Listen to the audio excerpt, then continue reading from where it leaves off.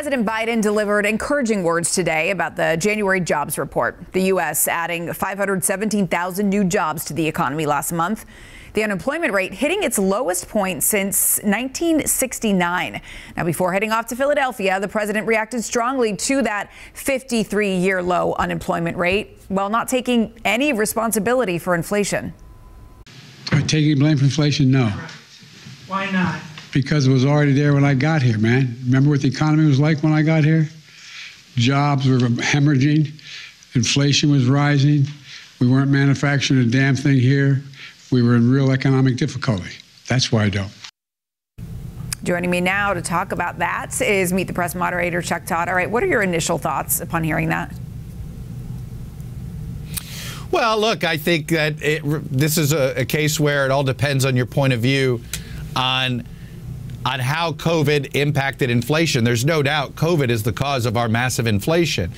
Now, there's a debate about whether the COVID relief bill, the first thing President Biden essentially and the Democrats in Congress provided, that the extra release relief that was handed out, those $2,000 checks, was only added to our inflationary pressures. So, you know, I think it is incorrect to say he's to blame for all inflation but I think it's also incorrect to say he had no hand that that they had no hand in it either, right? And that's what's you know this is why I love doing what I do, but I hate sometimes the partisan political debates because you know there's nuance to everything, there's context to everything.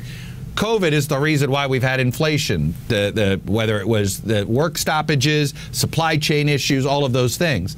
Some of the things we did to help people with COVID also created inflationary pressure. All those are true. I think the biggest problem we face now is this weird situation we're in where we have this hot jobs uh, market, but we still have this inflationary pressure. And the real issue is we don't have enough workers in this country. We still have more job openings than we do people looking for work. And it's because we've shut the border down. We've shut the door to legal immigration. As we debate what to do about border security, we've essentially shuttered our doors to legal immigration.